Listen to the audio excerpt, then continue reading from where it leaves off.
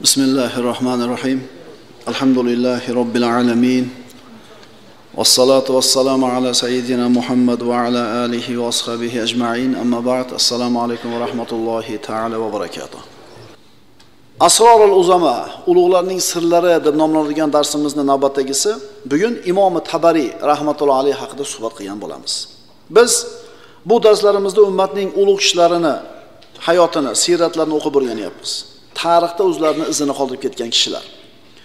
Bu ulug'larimizni siyratini faqat o'qib qo'yishlikni bir qator ko'zdan kechirib qo'yishlikni qasd qilmadik. Maqsadimiz bundan kattaroq.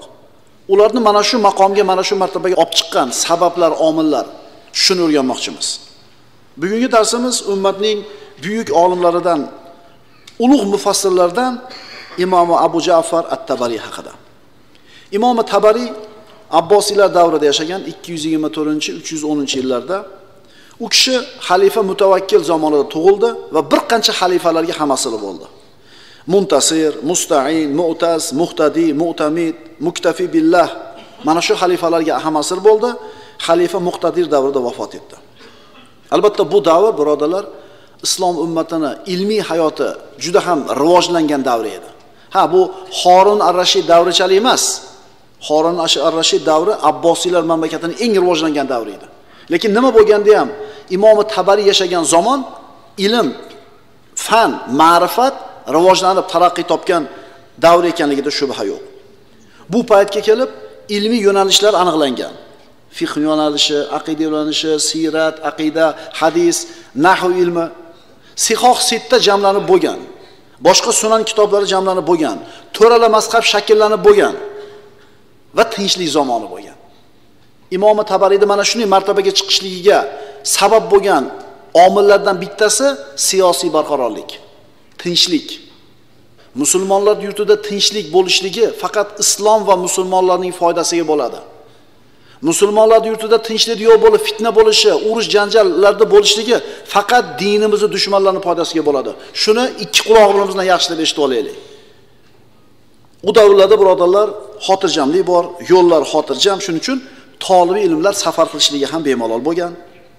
U davrlarda birodarlar ilm asosan masjidlarda berilgan. Katta jome masjidlarida shayxlar o'tirgan. U burchakda bitta shayx aqidadan dars beradi. Bu burchakda bitta shayx tafsirdan dars beradi. Burchak burchakda ustunlarda oldida halqalar bo'lgan. Mana shunday bir ilm tarqatilgan. U davrda Bag'dod va Damashq shahrining jome masjidlari hozirgi universitetni o'rnidagi maskanlar edi. Maydoni keng bo'lganligi uchun juda ko'p halqalarni o'zlariga sig'dira olar edi va o'sha zamondagi kibor olimlar tolibi ilmlarga ilm tarqatar edi. Endi mana shunday shart-sharoit bo'lgandan keyin albatta ummatni ilmiy, ma'rifiy, saqofiy darajasi yuksaladi.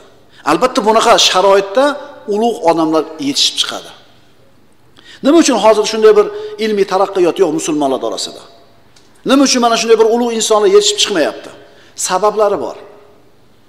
Shulardan bittasi odamlarda tushuncha, fikrlari, g'amlari u davrdagi odamlarnikida emas. Hozir birinchi g'am nima? Pulda. Endi puli bor odamda dalshi g'ami nima desa, yana pulda. To'g'rimi? Yoshligini pulga sarflagan, sog'ligini pulga sarflagan, endi kasal bo'lgandan keyin o'sha sog'ligini qaytarish uchun pulni sarflaydi, banisiga borib oladi. Demak, birinchidan odamlarda tushunchalari, fikrlari, o'lchovlari noto'g'ri. Undan keyingi sabablardan bittasi odamlarda ilmga bo'lgan rag'bati yo'q. Va ilmga odamlarni rag'batlantirishlik, shijoatlantirishlik ham yo'q. Qo'y, o'qib nima olarding, bolam? Bor. Qo'yda hayda. molni hayda. Bor hunarni qil, pul top, jon akalar, ukalar. Erkak kishi bo'ldiga, alhamdulillah. Bu bizning rizqimiz edi. Palonchi voyda bolasi bo'ldiga, bu ham rizqimiz edi. Bunda bizning ixtiyorimiz yo'q edi. Xuddi shunga o'xshagandek, rizqimiz ham bizning ixtiyorimizda emas, qancha bo'lishligi. Siz ilm bilan shug'ullansiz ham o'sha rizqingizni yeysiz.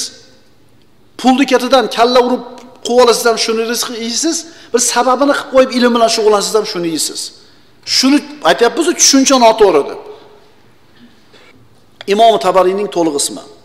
Muhammad ibn Jarir ibn Yazid ibn Kasir ibn G'olib at-Tabari. kunyasi abu jafar. Mana shu kunyasi bilan mashhur bo'lgan imom tabariy uylanmagan birodarlar. Ehtimolki mana shu uylanmaganligi u kishini faqat ilm bilan mashg'ul bo'lishiga sabab bo'lgandir. Xuddi imomi navaviyga o'xshab. Albatta uylanmaslik bu payg'ambarimizni sunnatiga xilof ish akalar uylanishlik kerak. Ammo bu kishilar uylanmaganiga yarasha nimadir qilgan ekan. Imomi tabariy uylanmagan. Unda qanday qilib abu jafar degan kunyaga ega bo'ldi? Bolasiga nisbat qilinadi. Katta farzandiga abu fulan deyiladi. Palonchini otasi degani. Abu ahmad desa ahmadni otasi. Bu kishi payg'ambarimiz sollallohu alayhi vasallamni bir odamga kunya berishlik sunnat ekanligini bildi hadisni o'qidi o'ziga abu jafar degan kunyani e, qabul qildi. Chunki payg'ambarimiz yosh bolalarga ham abu fulan masalan abu hurayra mushukchan otasi degani. Mushukni erkalatib ko'tarib yurgani uchun mushukni otasi deb abu hurayra deb qo'yganlar. Nasabi imomi tabariy forslardan edi. Fors yeridan edi. Tabristonlik. Shuning uchun tabariy bo'lib tanildi. Qarang bu din faqat arablar uchun kelmagan edi. Bu dinga xolis xizmat qilar ekan kishini millatini ahamiyati yo'q. Imom buxoriy bizdan. Imomi navaviy arab. Imomi tabariy fors abu hanifa fors ya'ni islom dinida millatni hech qanday ahamiyati yo'q. Arabning ajamdan afzalligi yo'q magar taqvo bilan dedilar rasululloh sollallohu alayhi vasallam. Fors bo'lishiga qaramasdan imom tabariy arab tilini mukammal suratda bilgan. Imom tabariy otasini qo'ynida ulg'aydi. Alloh azza va jalla bu insonga o'tkir zehn kuchli xotira g'ayri oddiy qobiliyat berdi yodlashlikka. Va mana shu narsalarni otasi yoshligidan sezdi va mana shu narsaga qattiq e'tibor berdi. Shuning uchun birodarlar yetti yoshida qur'onni yodlab bo'ldi. Sakkiz yoshida taraveh namoziga o'tib odamlarga imomlik qilar edi. Ovozi judayam yoqimli shirin edi. To'qqiz yasharidan payg'ambarimizni hadislarini yozib o'rganishlikni boshladi. Qarang ota xaridor bo'lyaptida bolangizni talantiga birinchi xaridor kim? Siz o'zingiz. E opa dadalar qaranglarda nevaralarni ichida shunaqalari bor. Ahvol mana ishladinglar oilali uyli joy unib o'sdinglar bir zurriyot qoldiryapsizlar. Endi ilmiy tomonga bir narsa qo'shib ketinglar opa dadalar e mana shu movichi ikki minginchi yilda bu yoqda tug'ilgan bo'ladimi qaranglarda. O'shaqa talantlilar ko'p chunki ichmasdan chekmasdan qimor o'ynamasdan harom kalbasa cho'chqa yemasdan uylangan bolalarning bolalari endi ikki ming o'nda tevasda tug'ilganlarni qaranglarda undan ham zo'r bo'lyapti. E nimadir qilaylik jon akalar? Yeb ichib ketavermasdan uy qurib ketavermasdan bittamta imomi tabariyni imom buxoriyni qo'yib ketaylik. Imomi tabariy otasini rioyasida bo'ldi. Otasi u kishi farzandidagi farzandidagi qobiliyat iqtidorni ko'rgandan keyin shuni yo'ladi. Yo'ladi. Otasi tush ko'rdi. Tushida qarasa payg'ambarimiz sollallohu alayhi vasallamni oldida o'g'li o'tiribdi. Oldida bir xoltachasi bor ichida to'ldirib toshlar. Tushida ko'ryapti. Payg'ambarimizni oldida o'tirib olib haligi toshlarni bunday otib o'tiribdi. Ertaman uyg'ondida juda xursand bo'ldi. Tushlarni ta'bir qiladigan tush ilmidan xabari bor odam oldiga kelib turib tushini aytib berganida haligi ta'bir qiluvchi aytdiki o'g'ling katta bo'lib o'zining dinida nosih bo'ladi va robbisining shariatida bilimdon bo'ladi dedi. Ehtimolki mana shu ko'rgan tushi o'g'lini shunday yo'lashiga sabab bo'lgandir. Shundan keyin otasi bolasini tamomiy ilm yo'liga burib qo'ydi. Tirikchilikni dunyo tashvishini birontasini bolasiga bildirmadi. Yeri bor edi shu yeridan tushadigan mablag'ida falon qismini bolasiga atab qo'ydi. Safariga yeyish ichishiga ilm o'rganishligiga nima kerak bo'lsa ilm tomoniga burib qo'ydi. Keling to'rtta o'g'lingiz bor. Shundan bittasi qandaydir iqtidori bor. Qolgan uchtasi ishlab bittasini o'qitsin otasini yo'log'i bilan shu darajada bo'ldi. Demak yosh bolalarimizda mana shunday bir qobiliyati borligini ko'rsak ularni ilm ko'chasiga turtib turishimiz kerak bo'ladi. Bunday qobiliyatli yosh bolani ilm talabida bo'lishiga yordam berishlik kerak. Katta bir ilmiy darajalarga yetishiga ko'mak ko'rsatishlik kerak. Birodarlar mana shunday yoshlarni qo'llab-quvvatlashlik ba'zi bir masjidlarni qurishlikdan ko'ra afzalroq. Quduq kavlab suv chiqarib berishdan ko'ra afzalroq. Chunki ayrim masjidlarni ko'ramiz birodarlar. Uchta to'rtta odam namoz o'qiydi farz namozida. Safda uchta to'rtta. Masjidlar katta katta qilib qurilyapti. Shu masjidni yurgizadigan odamlarni yo'qligidan masjidlar huvillab turibdi. Shu masjidni ishini yurgizishlikka yaramaydigan shu ahli ilm bo'lmagan shu minbarda ahli bo'lmagan odamlar o'tiryapti qavmni uchga to'rtga bo'lyapti. Akalar mana shunday bir ilmni yoshlarni qo'llashlik kerak savdogar akalar ahli davlat birodarlar mana shunday bir yoshlarni ilmiga biz ko'makchi bo'lishimiz kerak. Imomi tabariy balog'at yoshiga yetib ilm safarini boshladi. O'zini yurtidagi katta katta shahardagi olimlarni ilmini olib bo'ldi va safarni boshladi. Imomi tabariyni ilm talabida qilgan safari nimaga o'xshatsa bo'ladi? Asalari uchib guldan gulga qo'nib asalini yiqqandaqa imomi tabariy shaharlarni katta katta shaharlarni kezib shu yurtdagi ulamolarni ilmlarini bitta bitta to'pladi. Xuddi asalari guldan asalni to'plaganidek. Imomi tabariy royga keldi u yerdagi ulamolardan ilm oldi bag'dodga bordi. Ana shu paytda bag'dod ulkan ilmiy markazlardan bittasi edi. Zamonasining eng ulug' olimi imom ahmad ibn hambalni shahari. U kishini qasd qilib keldi lekin imomi tabariy bu shaharga kelgunga qadar imom ahmad ibn hambal vafot etgan edi.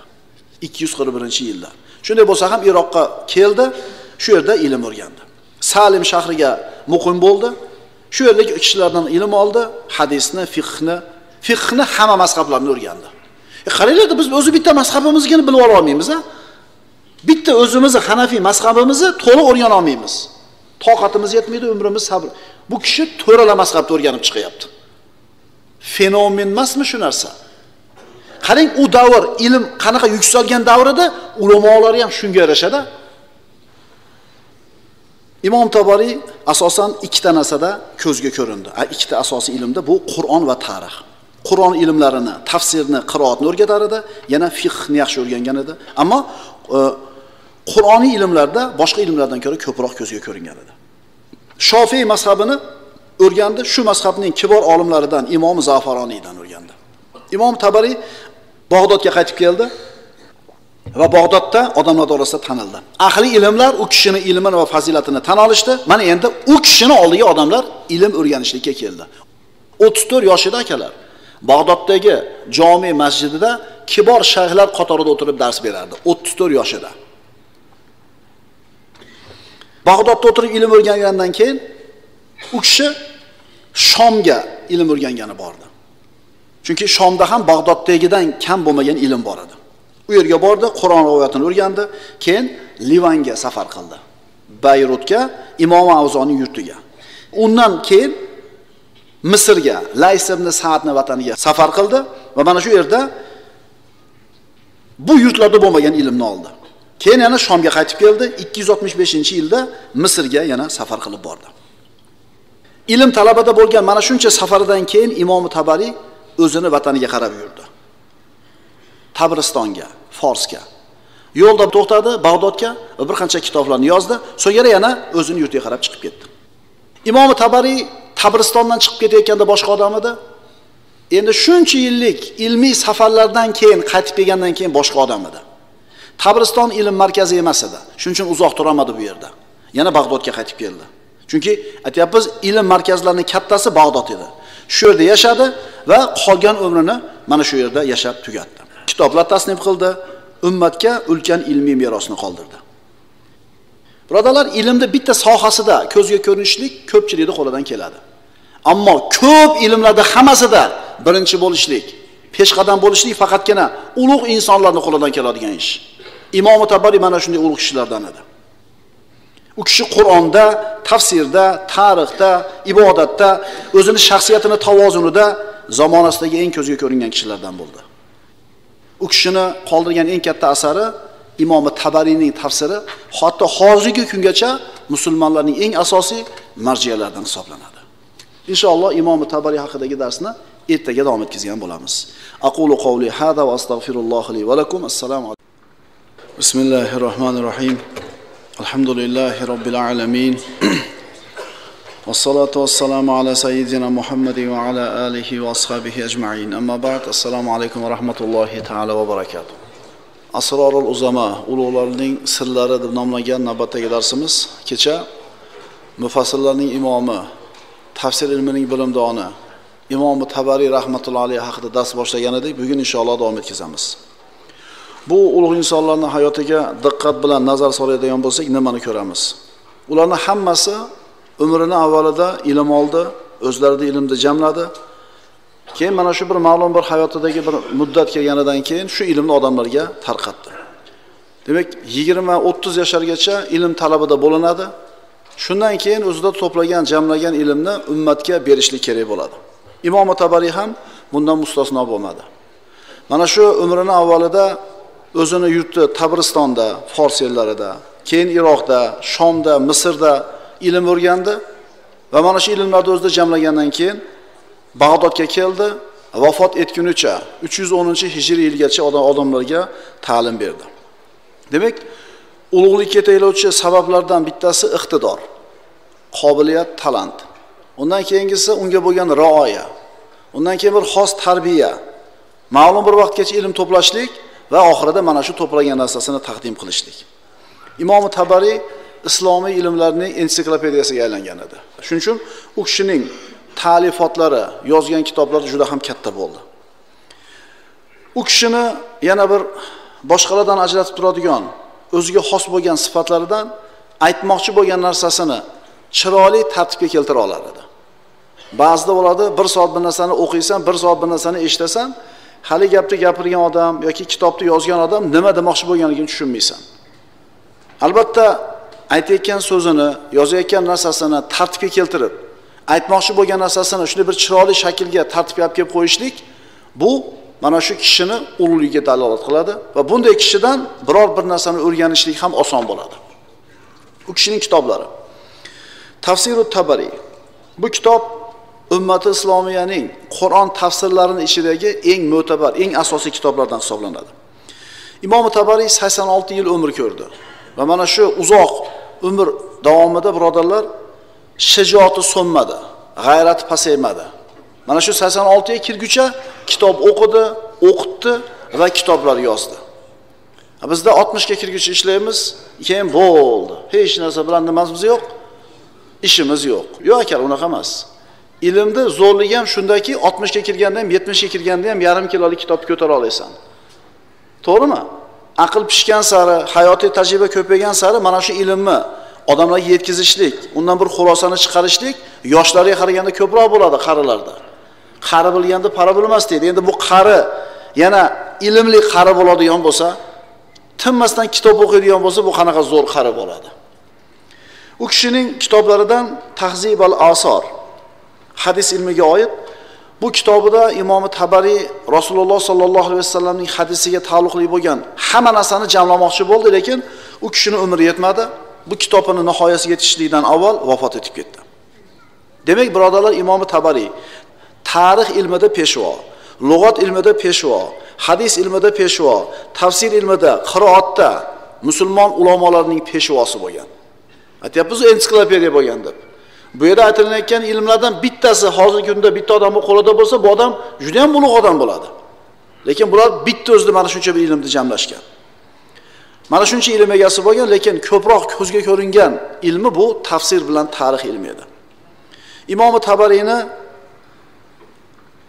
harakatiga mehnatiga va kitoblariga alloh taolo qabuliyatni yozgan edi. Qarang o'tganiga qancha yuz yillar o'tgan bo'lsa ham hali hali odamlarni qo'lida u kitoblari. Hali hali odamlarni tilida u kishining ismi. Bu olloh yaxshi ko'rgan bandasiga bergan beradigan narsa qabuliyat. Odamlarni qalbiga yo'l ochiladi. Kamdan kam odamlar mana shunday bir martabaga erishadi. Qarang mana imomi tabariy davrida imomi tabariyga o'xshab kitob yozgan olimlar ham bo'lgan. Lekin nimaga ularni hammasini kitoblari qo'lma qo'l bo'lib asrdan asrga o'tib kelmadi? Hozir aytganimizdek olloh qabuliyatni yozgan odamlarda bo'ladi bunday narsa. Ibn huzayma aytadi. Bu samo ostida tabariydan ko'ra bilimliroq kishini bilmayman. O'zi muhaddis olimlardan ibn huzayma bilasizlar. Imom zahabiy aytadi. Abu jafar at tabariy ulug'larning biri. Ulug' tasnifotlar egasi. Ishonchli sodiq hofiz va tafsir ilmida bosh edi. Fiqh ijmoda va ixtilofda imom edi. Tarixda alloma lug'at va qiroatda olim edi. Bu guvohlik birodarlar hozirgi o'nta diplomdan yaxshi guvohlik. Chunki bu guvohlikni berayotgan kishilar ummatni eng ko'zga ko'ringan olimlari. Ularni bittasini guvohligi o'zi o'nta diplomni o'rniga o'tadi. Imom tabariyning kitoblaridan jomiul bayan fi tavili ayatil qur'an. Tafsir kitobi. Bu kitob ko'proq tafsiri tabariy nomi bilan mashhur bo'lgan. Birodarlar bu tafsir tafsir ilmidagi eng peshvo kitob hisoblanadi. Tafsir ilmini o'rganganki odam bor imomi tabariyni tafsirini o'qimasdan iloji yo'q. Sahiy buxoriyga sahiy muslimga qanday muhtojmiz hadis ilmida? Tafsir ilmida imomi tabariyga mana shunday muhtoj bo'linadi. Juda ko'p marta bu kitob chop etilgan ilm bilan shug'ullangan odam borki albatta uyda bu kishining mana shu imomi tabariyning tafsiri turadi. U kishining yana bir kitobi tarixul umam val muluk. Bu kitobi mana tarixu tabariy nomi bilan mashhur bo'lgan.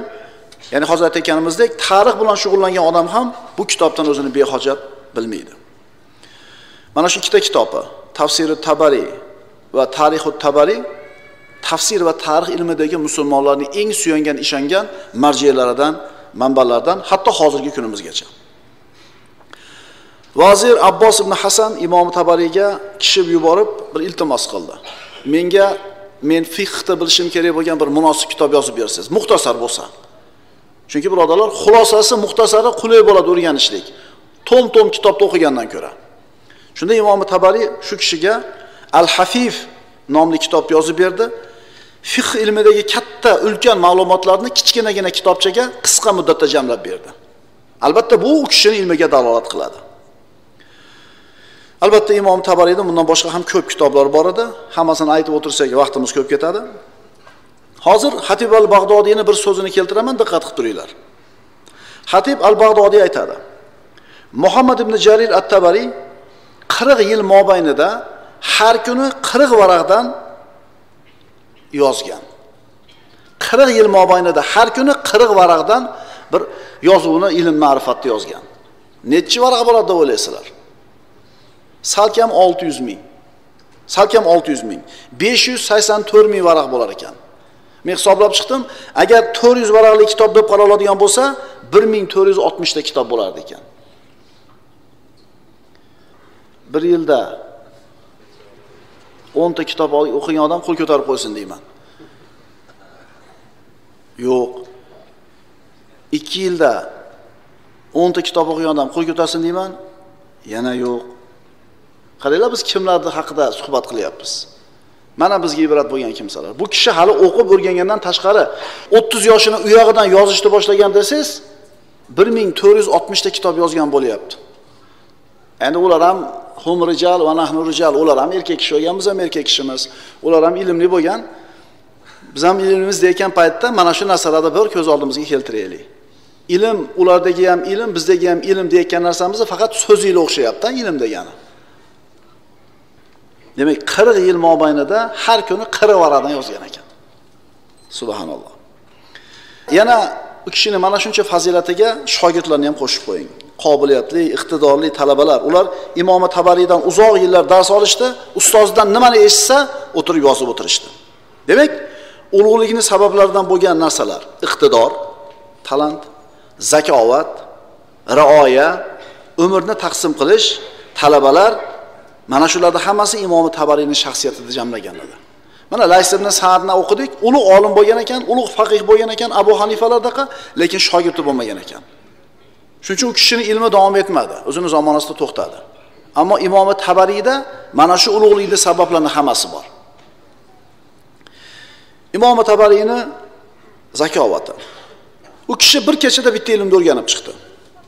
O'zi haqida aytadi ya'ni she'r vaznlardan bo'lgan aruzni. Aruz vaznini. Misrga kelganimda misr ahlini ilmli kishilari hammasi kelib men bilan uchrashdi. Hammasi o'zi bilgan ilmda meni imtihon qilib ko'rdi. Shularni qatorida bir kishi keldida aruz haqida so'radi she'rni vazni haqida. Bu narsaga e'tibor bermagan ekanman vaqtim bo'lmagan ekan u kishiga ertaga javob aytaman sizga dedim deydi.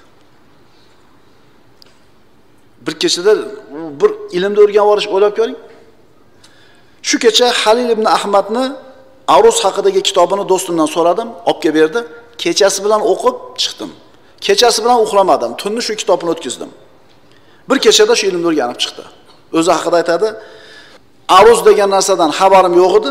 Kechqurun tong yotganda aruziy bo'lib uyg'ondim. deydi ya'ni aruziy bo'lib odamlarga ro'bara bo'ldim deydi bir kechada bitta ilmni birodarlar o'rganib chiqishlik. Albatta bu imomi tabariyni g'ayri oddiy zakovati aqli fahmi borligiga dalolat qiladi. Bir kechada. Alloh taolo bu kishiga mana shunday bir g'ayri oddiy zakovatni bergan edi. Iqtidorni bergan edi qobiliyatni. Birodarlar odam bolasi borki unda qandaydir iqtidor qobiliyat bor. Talant bizni tilda. Faqat u iqtidorini talantini kashf qiladi kimdir kashf qilib yaxshi tomonga burib qoladi. Kimdir u narsa bilan ishi olmaydi ko'milib qolib ketadi shu iqtidori fosh bo'lmaydi. Bu kishilar iqtidorni bilgan va kerakli tomonga bura olgan. Abu jafar at tabariy aytadi o'zi haqida mana imom tabariy aytadi abu kuraybning eshigi oldida ahli hadislar bilan birga keldim. Bu abu kurayb ahli hadis bo'lgan olimlardan edi. Judayam tabiati injiq ko'p ham odam suyvormaydigan hammani o'zini majlisiga kirgizavermaydigan ko'p ham mana bizni tilda odam suymaydigan odam bo'ladi. Lekin olim subhanalloh tabiat ekanda tabiat ekan bir olim shunaqa bo'lar ekan. Bir xilgi olim bir ochiq odamlar bilan muomalasi oson yengil bo'ladi bir xilgisi lekin fitrat bu tabiat. Ya'ni bu kishidan ilm olishlik uchun birodarlar talabalar ayrim o'rinda kimnidir o'rtaga qo'yishiga to'g'ri kelardi. Xohlamas edi shunaqa bo'ladi olimlar bilan muomala qilish. Imom zabnujiyda ta'limul mutalimada aytadi. Men aytaman shuni. U olim xohlamaganda savol bermaysan deydi. Charchab turgan bo'lsa osilib olmaysan deydi. Etagiga osilmaysan xullas yalinasan degani. Yalinib turishar edi. U kishi kichkina bir derazadan qarab turib mendan yozib olgan narsalaringlar bor. Ko'p narsani yozib olgansizlar yodladinglarmi? dedi. Talabalar bir biriga qarab qolishdi. Shunda imomi tabariga qarab turib siz yozdingizmi? deyishdi. Ha dedim yozdim dedi. Yodladingizmi? Ha yodladim. Mana odam yodlabdi shu odamdan so'rang deyishdi. Derazadan turib abu kurayb so'radi. Nimani yodlading? dedi. Endi uch to'rtta hadisni aytib bersa bo'ladi. Nimani yodlading? degandi falon kuni falon narsani aytdingiz yozdik. Falonchi kuni falon narsani aytdingiz yozdik. U yodlagan narsasini emas qaysi kuni nimani aytganigacha nimani yozilganigacha aytib berdi. Yana bir qancha savollar so'radi hammasiga javob berdi. Shunda abu kurayb mana shu odam kirsin qolgani kirishma dedi. Yana shunday bir e, qaysar yoki bo'lmasam fe'li torroq olim ham imomi tabariyni fazilatini makonatini qadrini bildi. Imomi tabariyni mana shunday bir martabaga yetishiga sabablardan yana bittasi u kishi o'zini vaqtini tartiblab qo'ygan edi. Biz bilasizlarmi birodarlar vaqtimizda baraka yo'q. Hech narsaga ulgurmayapmiz. Hunarimizga ham ulgurmayapmiz bozorimizga ham ulgurmayapmiz ilm o'qigani ham ulgurmayapmiz sog'ligimizga diqqat qilgani ham ulgurmayapmiz bola chaqa bilan o'tirib bola chaqaga tarbiya bergani ham oilaga ulgurmayapmiz. Akalar o'sha yigirma to'rt soat o'sha yigirma to'rt soat. Imomi tabariy davridagi yigirma to'rt soat hozir ham o'sha. Faqat bizda tartib yo'q. Tartibimiz yo'q. Albatta vaqtini tartiblay bilishlik tolibi ilmga ham muhim narsa olimga ham. Bu kishi o'zini kunini chiroyli suratda tartibga keltirib bo'lib qo'ygan edi. Dars beradigan vaqti bomdoddan keyin yozadigan vaqti peshindan avvalgi qaylola vaqti peshinni o'qigandan keyin asrgacha dars vaqti asrni o'qiganidan keyin shomgacha tolib ilmlarga qur'ondan ilm beradi. Shomdan keyin xuftongacha masjidda fiqhdan dars beradi fuqaholar bilan suhbatlashadi. Xuftondan keyin uyiga ketadi hech kimni qabul qilmaydi. Nima uchun? Bezovta qilishmasligi uchun. Nimadan? Yana kitob yozishdan. Haqiqatdan bu odamlarga alloh taolo bir barakat ham bergan ekan sabr toqat ham bergan ekan birodarlar. Yana shularga qo'shimcha har kuni qiladigan zikri duolari bor ma'lum virt nimalari bor qur'onlari bor. Ibn kamil aytadi o'zi uchun dini uchun va haloyiqning foydasi uchun o'zining kunini chiroyli taqsim qilgan edi. Og'ani semirib ketdi sal bir yugursangiz bo'lmaydi domla vaqt bo'lmayaptida deydi.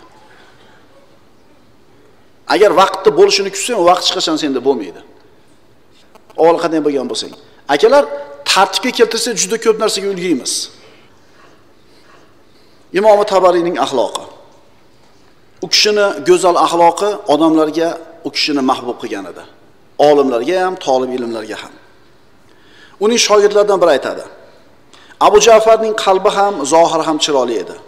Hamsuhbatlariga chiroyli muomalalik edi. Ularni hol ahvolini so'rab surishtirib turadigan inson edi. U kishi islomiy odobni o'zida jamlagan edi. Yurishida turishida yeyishida ichishida o'tirishida uxlashida. Hatto u kishi o'zi bilan husumatlashib turgan kishilarga nisbatan ham chiroyli muomala qilar edi. Mana dovud ibn ali az zohiriy zohiriylardan. Bir majlisda imomi tabariy bilan bahs qilib qoldi. Munozara ikki tomon endi o'zini fikrini aytib o'rtada bir e, bahs bor. Fikrlar har xil. Shunda dovud zohiriyni shogirdlaridan biri turdida imom tabariyga qo'pol gapirib yubordi. Imom tabariy indamada turib chiqib ketdi.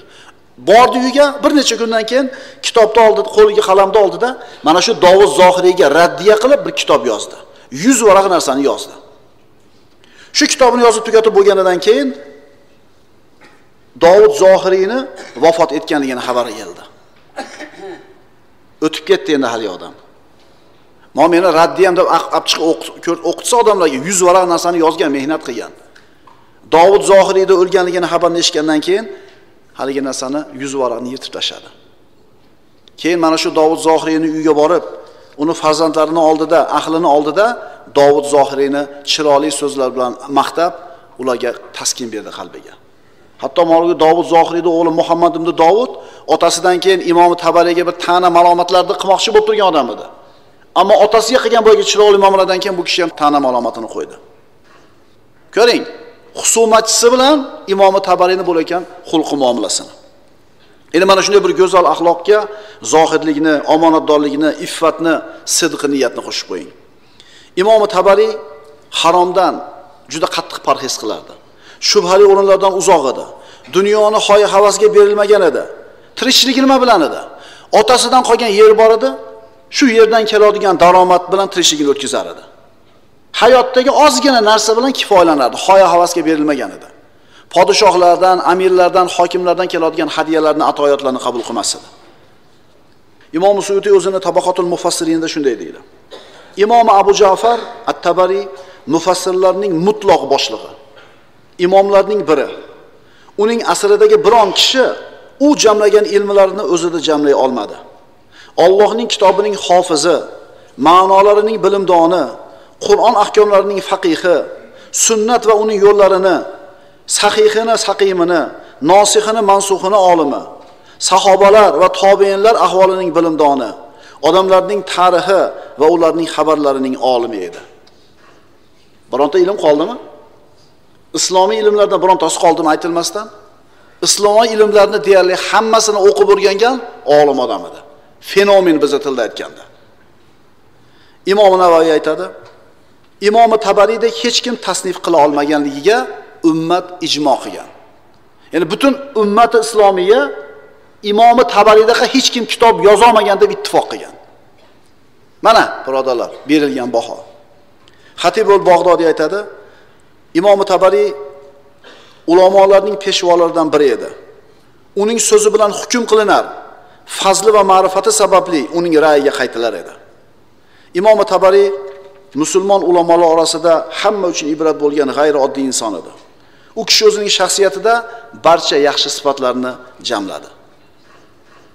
Alloh azza va jalla siz bilan bizga mana shu kishilarni hayotini o'qib eshitdik ibrat olishlik tavfiqini bersin. Duo qilaylik bolalarimizdan nabiralarimizdan mana shunday bir ulug' insonlar yetishib chiqsin. Albatta bu narsa bizni qo'limizdan keladi. Sababini qilamiz allohga duo qilib so'raymiz inshaalloh mana shuni insonlar yetishib chiqadi. Aqulu qavli hada va astag'firulloh li va lakum. Assalomu